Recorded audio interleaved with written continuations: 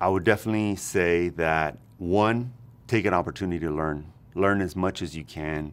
Um, collaborate with other teachers, especially in professional development. Also, have structure in the classroom. Classroom management is very important. There has to be discipline, uh, accountability, but it also has to be done in a dignified manner. Also, as a teacher, you have to take care of yourself.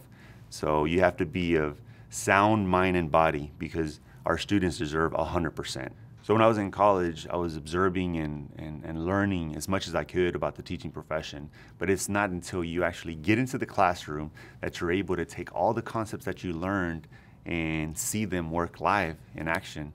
Um, and in my head, I'm thinking, okay, how can I take this strategy and how can I deliver it?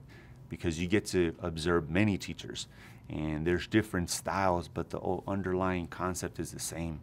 So I take tidbits from every teacher and then make it my own.